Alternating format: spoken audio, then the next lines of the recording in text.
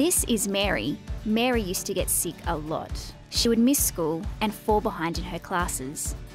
Mary didn't know what was making her sick, but when she started going to a compassion centre, she learned that sometimes water was filled with bacteria and things that make your stomach hurt. They can even send you to the hospital. Bomba tulikuwaga tunakunywa maji ambayo hajachujwa. Saa nyingine labda mtu akazaa akaumwa, yani hujapata hata dawa yoyote ile, kwa hiyo mpaka utumie hospitalini. Na sasa hivi tu- tumepata msaada kidogo, tumepata, kwa hiyo sasa hivi tunaweza kunywa maji salama.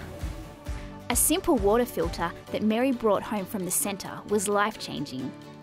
Sio magumu sana, kwa sababu kila mtu sasa hivi ameshayazoea. Kufungua tunayachuja, tunayaweka kwenye hii ndoo iliyoko juu, alafu tukishamaliza tunayachuja vizuri, alafu tunakunywa saa hiyo. Saa hiyo tumeshapata maji. When you give the gift of clean water, you're ensuring that families like Mary's no longer have to drink water that makes them sick. Your gift means a family can have access to safe drinking water for a lifetime.